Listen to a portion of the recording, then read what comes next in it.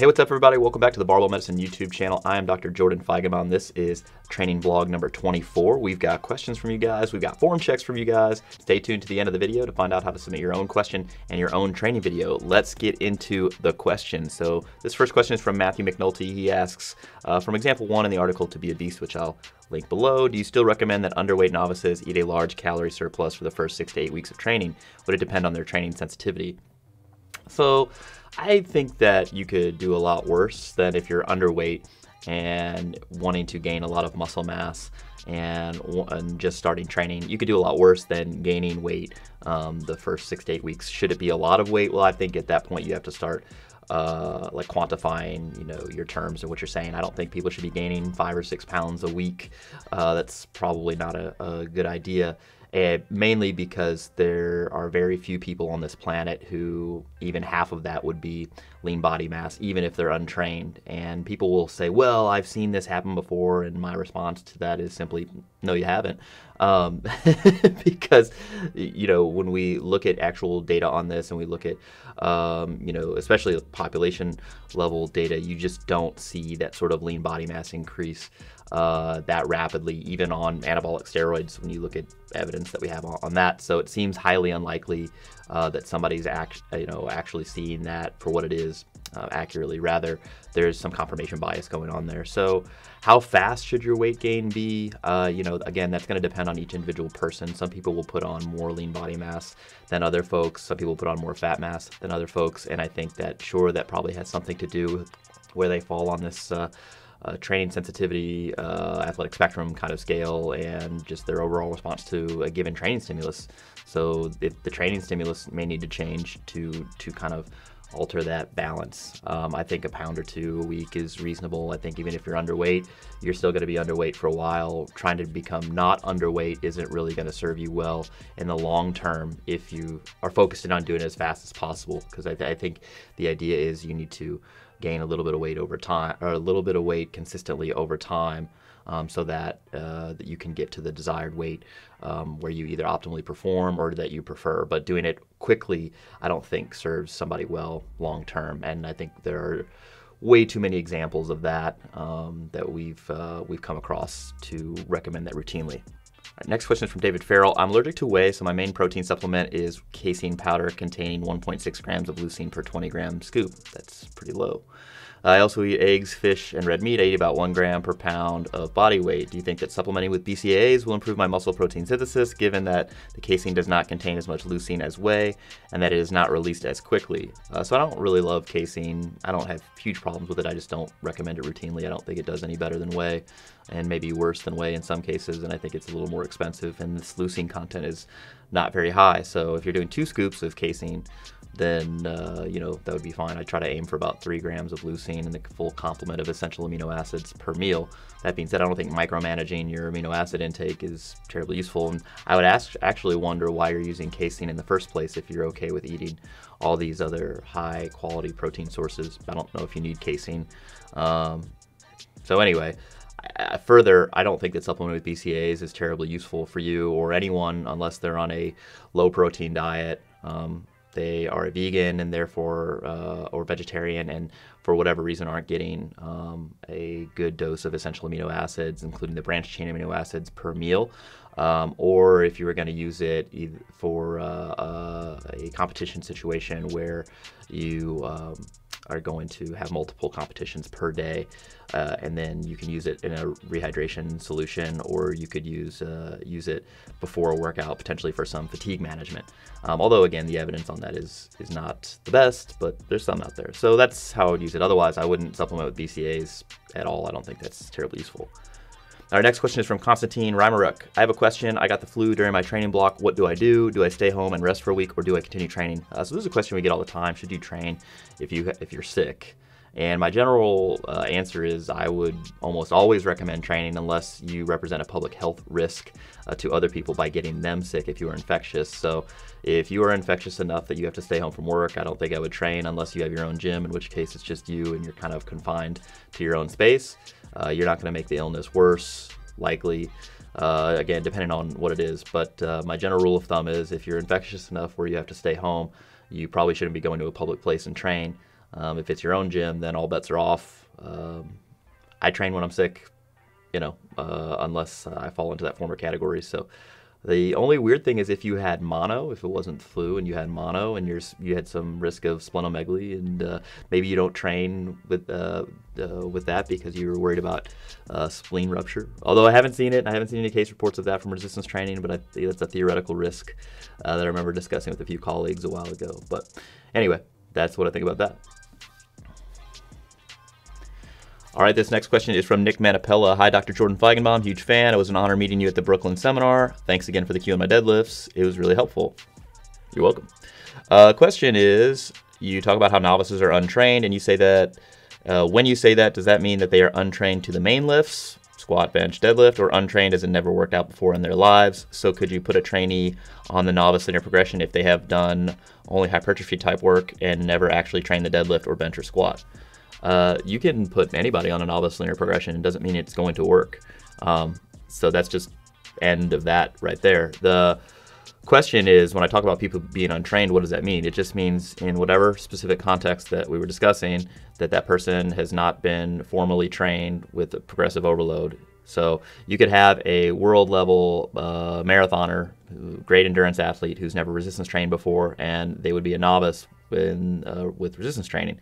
Um, just like you could have a person who's actually done a bunch of resistance training in the past, trap bar deadlifts only, and you know dumbbell bench press, and uh, you know what else? Uh, uh, uh, leg press and never squatted, and then put them on a the novice linear progression if that's what you wanted to do, and they'd see rapid progress in their strength within those lifts. Strength is very specific to the movement pattern, to the range of motion, to how far the muscles are stretched, to the joint angles, to the velocity of the movement. So when you're evaluating outcomes based on strength performance on particular lifts, strength has to be very, very specific. And so if someone hasn't been exposed to progressive overloaded, progressively overloaded program before with the specific movements that you are giving priority, then they are untrained in that uh, in that context. And so, yeah, when I refer to people who are untrained with regards to uh, resistance training, um, I'm usually referring to the the big lifts just because I have a personal bias supporting them. But uh, as far and that's that's usually in the context of strength. Um, hypertrophy is a different deal. Usually, uh, training that gets you stronger will also get you bigger muscles. Um, you know, there's uh, as long as it's programmed correctly. But if someone only did higher rep work, I would not expect them to be very good at uh, generating high intensity efforts for like a 5RM, a 3RM, or a 1RM, and therefore uh, putting them on a program that progressively overloaded that and trained that would uh, improve their performance. That being said, I'm not geeked out about putting everybody on a novice linear progression. It's two or three months of their whole life. It doesn't matter where they end up at the end of the novice linear progression. It's not the best program. Um, for general development. We've discussed this ad nauseum, and people get upset by it because they have this bias towards it. And it's like, look, guys, just evaluate everything. Just evaluate the program itself uh, on its own by its own merits and, and detractors, and, and then you'll come up with your own opinion. That's fine. You don't have to share my opinion, but that's my opinion. I don't care if someone's on an LP or not. Um, Anyway, so if someone if someone's never trained squat, bench, deadlift, press before progressively uh, over time, and they really care about getting strong, you can put them on a strength training program. It doesn't. Uh, it likely um, should follow the same general principles as even a non-novices uh, program, meaning that it should have progressive overload. It should, you know, gradually increase in volume and stress, and you should be evaluating empirical outcomes over time and adjusting as necessary. So, hope that helps. All right, next question is from Jim Doty. I have a question for the doctors. I'm 58 and have been seeing a doctor for routine checkups. Uh, a few months back, I had full blood and urine done. Hopefully, they didn't take all your blood and all your urine, uh, including total and free testosterone. I assume you mean full blood work and a urine analysis done. Okay. Uh, the total testosterone was 729 nanograms per deciliter, I'm assuming. The doctor said was a level he strives to achieve for people in TRT. All right, that's fine. uh, that's a totally normal level. He never mentioned free testosterone, and I didn't know enough about the subject to question him. But after some research, I think, if I have it right, that the free value is more important. That's not true. Free value is not more important. They're equal, equally as important. Somebody with one that's low and the other one that's not low uh, or one that the other one that's normal, you don't necessarily treat them. And you're not telling me that you have any symptoms either, so I don't know why we would just pull the testosterone level anyway. Uh, so free was 60.2, uh, what is that, picogram per mil? Okay, so that's a normal level two. And the bioavailable uh, testosterone was also normal. So everything was normal here. Okay, the only real symptom I have is dozing off after an evening meal. You say that your plumbing still works and you have decent energy level. Uh, dozing off after the evening meal is not a symptom of low testosterone. So uh, I'm not trying to be short. I'm just saying that's that's not a low testosterone symptom. Um, I'm not sure if this doctor would do anything for me since my levels are within normal ranges, but I could seek out private TRT. Of course, you could.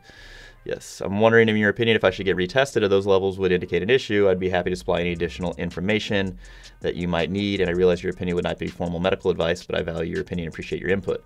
Uh, so first, I would refer you to the testosterone article by Dr. Baraki. He uh, covers this in detail. All of your levels are normal. I would not recommend any treatment for that because there are risks to the treatment, and the benefits that you would have since you have normal, completely normal levels are likely low. The idea that having a higher testosterone level within normal limits improves your results as far as lean body mass goes, sexual function, or uh, strength performance uh, is wrong and that we need to divorce that idea in our brains. Uh, people saying that are doing the uh, internet a massive disservice. So again, all of your levels were normal. The symptom that you mentioned, dozing off after evening meal, has nothing to do with testosterone. And I, it, it is true that if you sought out private TRT uh, prescription, you could probably find it. They would inappropriately test your levels, and that's how they would medically justify pr- providing the prescription. Um, but yeah, I, I wouldn't do any of that. And the this these numbers change day to day anyway, so I would expect them to vacillate over you know up and down. Um, anyway, so the whole thing on TRT is if you need it, if you're low and you have symptoms of being low, you should probably treat it, but you shouldn't just get a number before having symptoms because the number is not important. It'll all it can do is nocebo you, and if you listen to enough people who tell you that you need to have really high testosterone levels to live a full, complete life, then you might have noceboed yourself uh, in that in that in that regard. And uh, again, all of your normal your levels are normal. So, um, all right, we'll carry on now we're going to get into some lifting review. So first up, uh, this is Dr. Michael Supples. He's an emergency med resident down there in I forget North Carolina, South Carolina, squatting. You know these look all right, Supples. The hips shoot back a little bit out of the bottom. That's why there's like this little disjointed movement. So I'd keep your knees forward out of the bottom and uh, try to clean up that bar path. Yeah, that rep looked okay. Last rep. All right, this next one, this is Angel Esperanza. Uh, this is, I think he said he was from Mexico, so I don't know what the weight is on the bar. It looks like 225, 245, maybe 255. Yeah. So I will pull your chin down. Yeah. And that's about four inches, five inches above parallel. So you're gonna have to, I, you're gonna take some weight off the bar, pull your chin down. You're gonna have to go about, yeah, five or six inches lower. So the way you're to do that is by pushing your knees forward and out and uh, less weight on the bar. Yeah, you can see even see the knees cave in there. So why don't you take about mm, 60, 70 pounds off the bar and uh, work on going uh, below parallel. You want the crease of the hip below the knee. Yeah, that one was maybe eight inches above parallel. So, all right, Chris Christina Wong. She says is 155. That might be true. That's a 35. Maybe two tens maybe maybe miscounted. I don't know. All right, 155. So I don't love the shoes, but all right. So depth is good. Yeah, you know these don't look bad. Long femur crew checking in. That, yeah, those two probably right at parallel. So I'd go a little lower on those last. Yeah, that one was all right. You know, if you get yourself some shoes and you make sure you go about an inch lower on the on a, the few of those reps, I think you'd be all right, Christina. Nice. Stephen A. I can't pronounce your last name. I know. I know. This is 425 for a set of five. Looks like a BNR bar.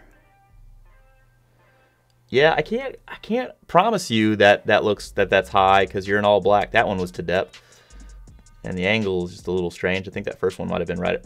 Yeah, third one was high too. Mm. Yeah, that's right. I mean, I, again, I'm not at hip level and I'm not directly from the side, so I can't say for sure, but everyone but that second rep looks to be a little high. The knee travel looks good, and your hips shoot back out of the last one, and your head changes position around that last one. It's a heavy set, but I think you need to go a little lower, and I think I'd want to see it from the dead side. So, not the dead side like you're dead, but like profile shot, you know? All right. Garrett. I'm surprised you took your shirt off in this commercial gym. Congrats to you. So was this 205?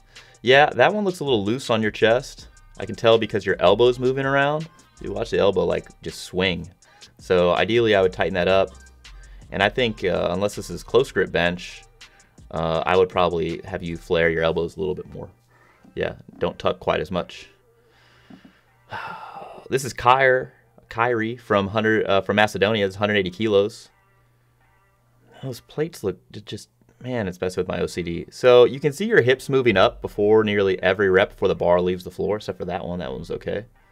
I just am so annoyed by how this plate, these plates are loaded. Yeah, it doesn't actually look bad. Your hips are low for like three of those reps, but so make sure to fix that. Uh, Robert Glaser is 345. You're not setting your lower back at all. Your low back is not an extension. Um, so you need to fix that. Yeah, your back is in like full flexion, and then at the top, it's you go into extension. It doesn't mean that you're gonna hurt yourself. This bar is gonna be forward. Yeah, it is. So, um, really work on it. May be the where the belt is positioned, but your back is again in flexion, and then only at the top you get it extended. So don't drop the last rep and extend your low back. Uh, so this is we had Angel uh, Esperanza earlier. This is his dad, Alex. He says he's 72. Uh, cool. So here, I would have him pull his chin down a little bit, not look in the mirror. You can see that his hips are low because they move up before the bar leaves the floor. So watch the hips. This camera work. I'm gonna have to be more. Uh, uh, I'm gonna have to pick these videos a little bit better. But uh, so I'd take that belt off. That belt is trash, and uh, raise his hips up a little bit, pull his chin down, drag the bar out the legs. All right, so this is in Toronto. So this is what 540. I'll pull this for. Well, we'll see how many. These are deficit pulls. I'm standing on two mats. No belt.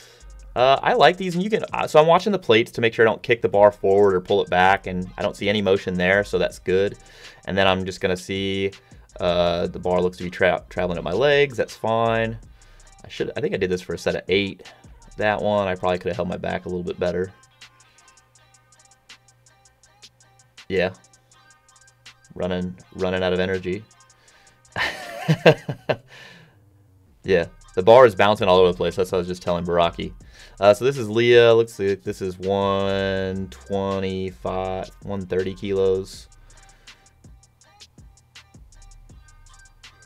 Yeah, notice how long her pauses are. Yeah, Yep, she was doing doubles. Uh, this is Baraki. This is 495 plus 112 in chains. This is his last warm-up for his top single. Yep, and again, watching the logo on the plates is really is, an easy trick here. That's you know, so this is 545 plus 112 in chains, so 660 whatever. Yeah, and you see the York logo just dead. You know, it doesn't move. So his hips were in the right position. He didn't roll the bar around. That's pretty good. So this is 455. He's going to pull this for reps. Now you can see his back, like actually, you can see it kind of move there. Now I think that he might have been in some overextension first. And yeah, you can see him hold it in place, which I actually, I think this is totally fine. That one maybe could have held a little bit more extension, but you don't want overextension. You want normal anatomical position. And I think, you know, he's pretty close. Close enough for me. I don't, I don't, I wouldn't worry about that. Uh, all right. So is, I'm doing two count pause bench. That pause was kind of trash, but there you go. Uh, yeah. So this bench is interesting. You would swing the uprights out in front of you, and uh, you could do, give yourself a lift off. So I think for uh, two count pause bench, these pauses are fast. Um, so I should have had somebody counting these. But you know, 315 and 365 after the day before doing 405 and 325 for regular comp bench. So, uh, well, I'll have to pause longer. And uh, this is Leah, 165. Uh, so This is touch and go bench. Now, she does most of her bench work paused. So when she goes to touch and go, this is like a new movement. You can see that she didn't actually get a decent bounce. That bar actually bounced forward off her chest and needs to go back towards the rack. So the whatever bench variation that you do most often is the one you're going to be better at. And she is better at pause benching right now. So anyway, this has been training vlog number 24. Uh, hope you guys dug it. Uh, if you want to keep up to date on all the latest information, make sure you hit subscribe. If you like the video, hit like, leave us a comment below. If you want to submit us your own video, uh, media at barbellmedicine.com. Submit a training video or a question or both please shoot them landscape. Please make sure they're 1080p or high, higher. You can use like WeTransfer or some other uh, file sharing service like that to send it to us. And uh, yeah, thanks for watching. We'll catch you guys next time.